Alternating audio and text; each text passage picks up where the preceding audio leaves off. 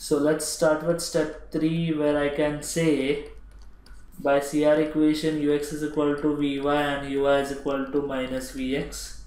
So with respect to that I can say here my ux is this so let it be in the same way because I want ux in future reference. So 1 by 2 and this gets cancelled so it remains with 2 plus 2 log z 1 by 2 2 plus 2 log z and here it is cos z.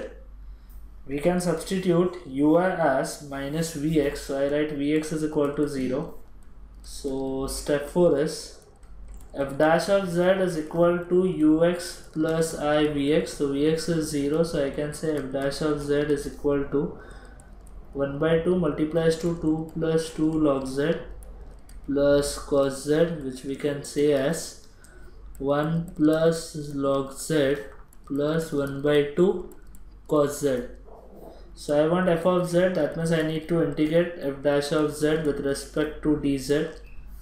So after integrating 1 plus log z plus 1 by 2 cos z with respect to dz what we can get here that is integration of 1 that is with respect to z is z integration of log z so we need to apply as we know students I'll be doing here integration of when we say integration of log x dx so that is integration of 1 into log x dx so this is my u this is my v so we say log x integration of 1 as x minus differentiation of log x is 1 by x integration of 1 as x with respect to dx this and this cancel so i get x log x minus integration of 1 as x so I get this as my integration of log x which you can write it directly here.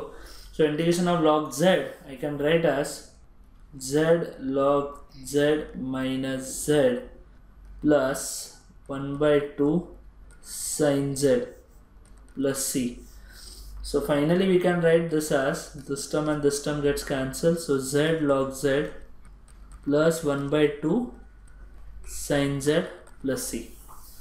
So let's start with the next sum of an of complex variable from the another paper. So in December 14 there were only three questions. Each question were for six marks.